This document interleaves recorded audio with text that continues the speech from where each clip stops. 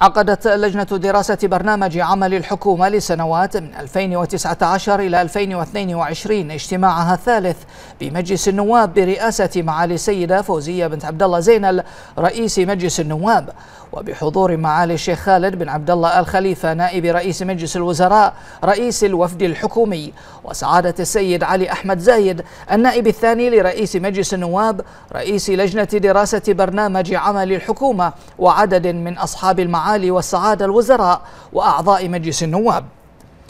وأكدت معالي رئيس مجلس النواب أن الاجتماعات المشتركة تعزز حجم التعاون البناء والمثمر بين السلطتين التشريعية والتنفيذية مشيرة إلى أن الوفد الحكومي قدم إجاباته على استفسارات أعضاء اللجنة والتي تركزت على الحفاظ على استدامة الصناديق التقاعدية وتأمين البيئة الداعمة للتنمية المستدامة خصوصا الخدمات الصحية والتعليمية والإسكانية والاجتماعية.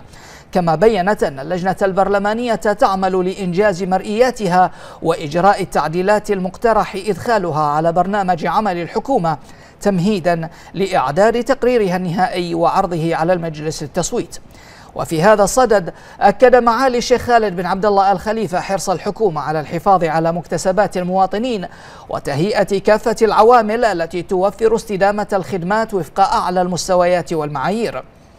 وقال معاليه إن تطوير المنظومة التشريعية تعد من الركائز الأساسية لبرنامج عمل الحكومة مؤكدا أن ضرورة إخضاع التشريعات القائمة للمراجعة والتحديث سيما قانون التقاعد الذي يستوجب شراكة السلطتين التشريعية والتنفيذية على نحو يحفظ للصناديق التقاعدية استدامتها. كما جدد معاليه التأكيد على أن تفاصيل المشاريع التي تعتزم الحكومة تنفيذها خلال المرحلة المقبلة سيتم تضمينها في مشروع قانون اعتماد الميزانية العامة للدولة للسنتين الماليتين 2019-2020 والتي من المقرر أن تتم إحالته إلى مجلس النواب بعد إقرار برنامج عمل الحكومة.